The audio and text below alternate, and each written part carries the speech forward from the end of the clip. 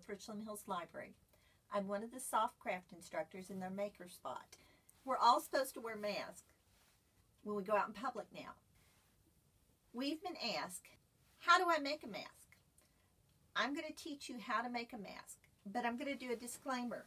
The masks that I'm going to show you how to make are not as effective as the N95 masks that the doctors and nurses are wearing, but it will help supplies we need. We need two 7-inch pieces of quarter-inch elastic. You need one 6 by 7 inch piece of cotton flannel. And the reason I'm using cotton flannel is it has more surface area so it can catch more particles. And we're using two pieces of cotton quilter's fabric. Quilter's fabric is woven tighter than normal cotton fabric and it will catch more particles.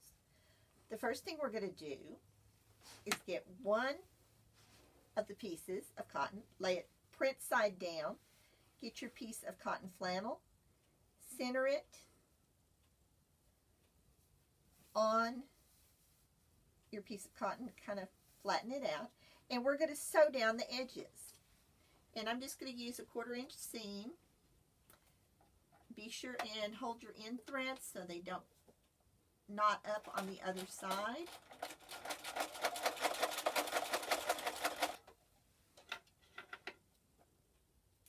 And I'm going to cut both ends. Then we're going to do the other side. Catch your threads again.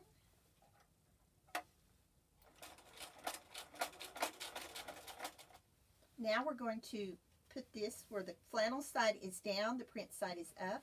We're going to get our pieces of cotton, of elastic. And working on the short sides, you're going to get your pins. And you're going to pin the elastic about a half inch from the edge.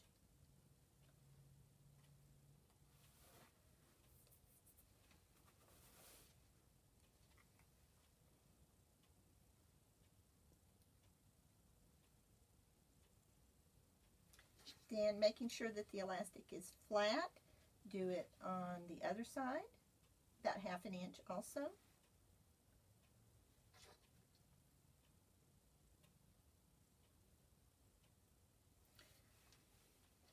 Get your other short side of your fabric and do the same thing. Okay. This time, get your other piece of cotton fabric, put the print side down so that both print sides face each other. Center it on the other piece. And we're going to put a 3 inch opening in here. And to mark where our opening is, we're going to get pins and each of my squares is about 1 inch. So I'm going to put one pin here, one pin here, I'm going to repin my elastic through both layers. Once you have all of that pinned, what you're going to do now is you're going to sew all the way around your edges, leaving the opening open. So go to your sewing machine and start at one side. Put your presser foot down and I'm going to use a quarter inch seam allowance I'm going to take the pins out as I go. And when you start, be sure and go a few stitches forward and then back stitch so that you reinforce the seam so that it doesn't come undone.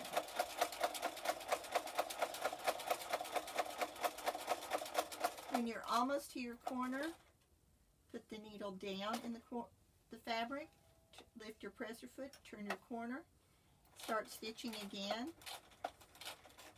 Be sure you don't stitch over your pins. Pull them out as you go. When you get to the elastic, back stitch over it also. This will help reinforce it.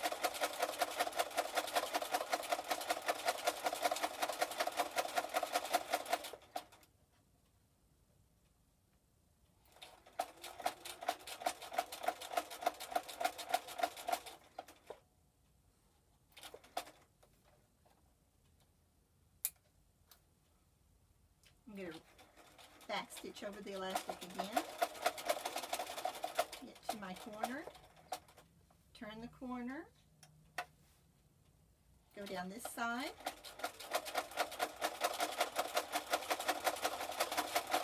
Get to my corner and stop. Lift the presser foot, turn again. And make sure my elastic is staying down.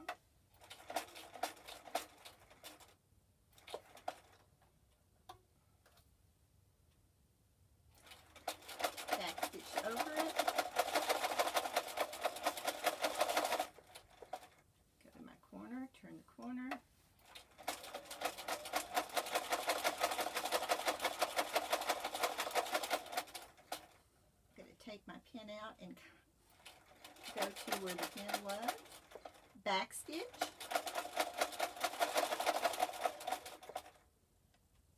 and cut my end pieces.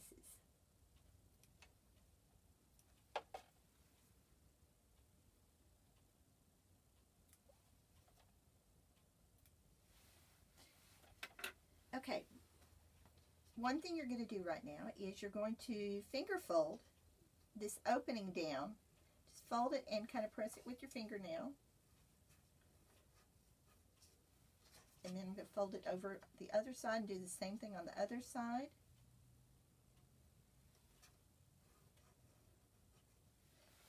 You're going to get your scissors and you're going to trim the corners, but be careful you don't cut the corners or cut the threads on the corner.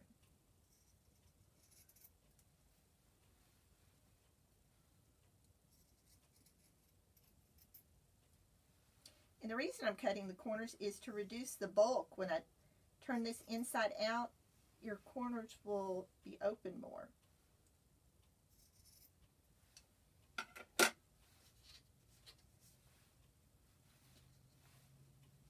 Okay. Now we're going to take this and we're going to turn it to where the printed side is going to come out and we can pull the elastic out too. And you can use the elastic to help pull the corners.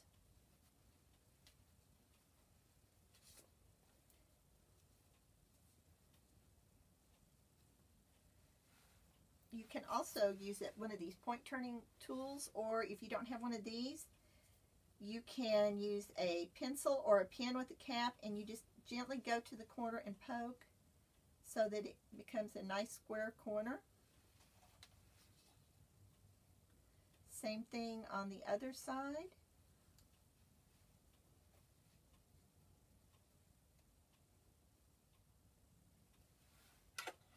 And what I'm going to do now is I'm going to get my iron and iron it the seams flat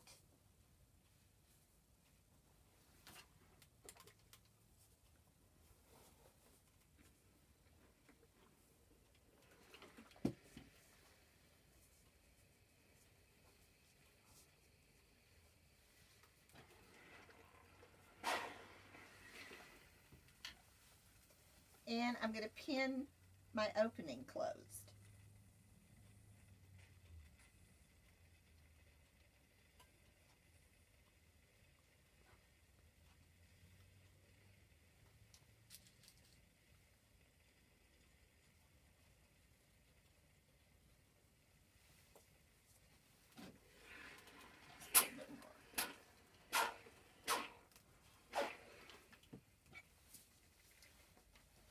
Okay, what we're going to do now is we're going to get a ruler and we are going to put some pins in on the short side. We're going to put a pin in at one and a half inches, a pin in at two inches,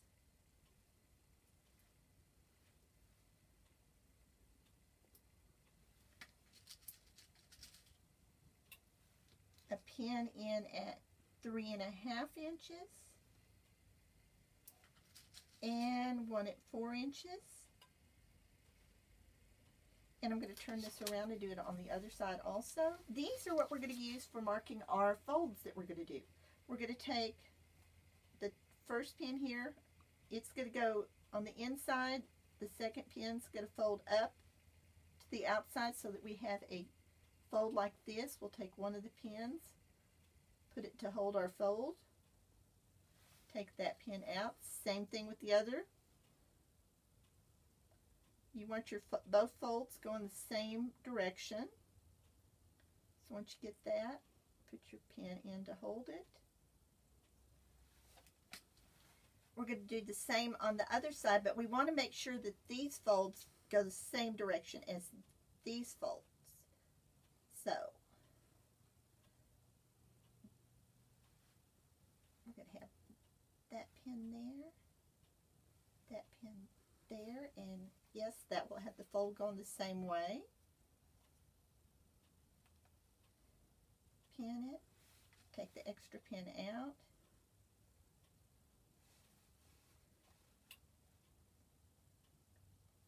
do the same thing. And what we're doing is we're putting in about a half inch fold on each of these. Now what we're going to do, and we're almost finished, is we are going to sew all the way around what we have the edge now. And I'm going to use about an eighth of an inch seam allowance this time. I'm going to start near one of the corners and start sewing. Be sure to backstitch.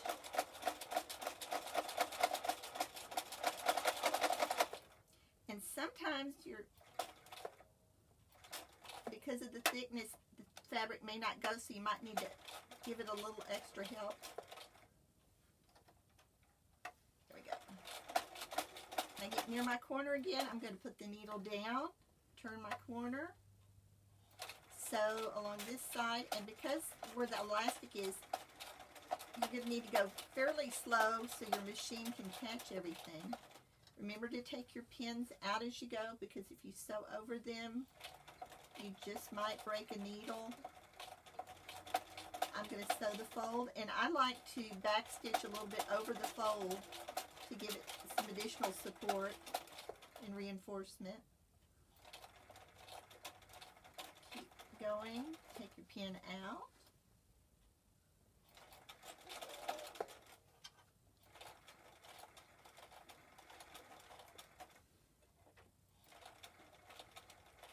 And all this sewing here is what why we did the flannel a little bit shorter than the other pieces. Because all this extra, that would have given even more bulk here and made it a little bit more difficult to do. Go down the long side, get to the corner, turn the corner, go up the other side. And clip your threads. And you now have a mask that you can wear. It'll go over your nose, your chin, and go over your ears. Now, some of you are wondering, well, what if I don't have flannel? Use an extra piece of the cotton fabric cut 6 inches to 7 inches. If you don't have quarter inch elastic, you can use the corded elastic. Be sure to put a knot in each end. You're going to use 7 inches, but be sure to put a knot in each end so that when you're sewing it, this knot will be end up on the inside and will help keep the elastic from pulling all the way out. If you don't have elastic, you can make a mask with ties. What I've used here is extra wide double fold bias tape. And what it actually looks like, it's a two inch strip of cotton fabric where you fold fold the fabric in half and then fold the two edges in and fold it like this. And then when you sew it on here, you're going to measure out 36 inches and go to where 18 inches is. Put it right here, right here, and then pin it on here. You'll need to sew the entire strip. So start at the bottom, back stitch, go sew all of this closed go over your mask, go all the way the other side, back stitch on the ends again, do the same on both sides, and then you'll have a mask that you can tie. If you don't have double fold bias tape, you can always also use ribbon. You can use 3 8 inch ribbon or quarter inch ribbon. You now know how to make a mask. I am going to remind you again, these are not as effective as the N95 mask, but it helps. Remember, you still need to do your social distancing, wash hands frequently, and limit your trips away from home. Thank you.